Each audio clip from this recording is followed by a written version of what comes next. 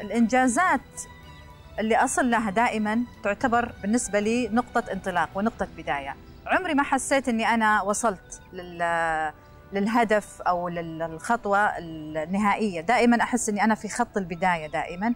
عندي دائما شغف عندي آه، تشوق لعمل المزيد والمزيد دائما.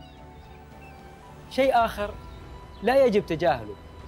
هي القدرة على استيعاب المواقف والمعنى من الموقف.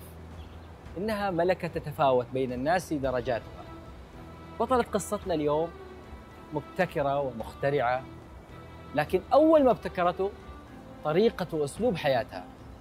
ابتكرت قراراتها وأهدافها قبل أن تخترع ما اخترعته لاحقا في مجال عملها.